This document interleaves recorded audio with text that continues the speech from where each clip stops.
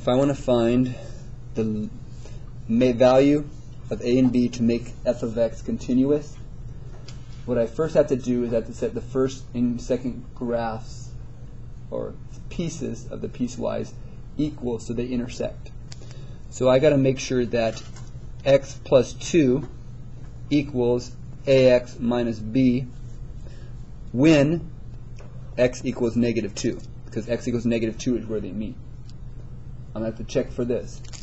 I will also have to check that the middle one equals the last one because ax minus b has to equal the 5 when x equals 3 because they meet at 3. So these two meet at 3, these two meet at negative 2, so you have to set the equations equal so they connect at those x values.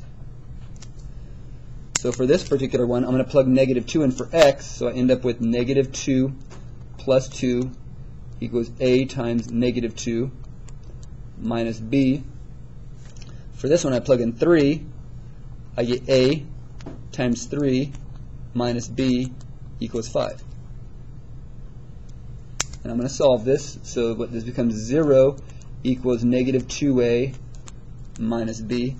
This one becomes 3a minus b equals 5. Here are my two equations. Now I'm kind of stuck. Okay, now I have two equations. How do I find a and b? It's called a systems of equations. There are multiple ways to do this. You could do elimination, or you can do uh, substitution. I think I'm going to do elimination. I'm going to take this function and write it underneath this one. I'm going to take this function, I'm going to multiply it by a negative 1. The 0 is going to go underneath here because 0 times negative 1 is 0. That becomes a positive b. And this is the opposite, will become positive 2a. So I multiply by negative 1, and I wrote it right here. Now I'm going to add straight down. When I do that, those cancel. I get 5a equals 5, and a equals 1. There's part of my answer. How do you find b? Well, you just choose one of these two equations and plug 1 in. Let's do the second one because b is positive. So I'm going to take it and plug it in right here for a. So we have 2 times a, which is 1, plus b equals 0.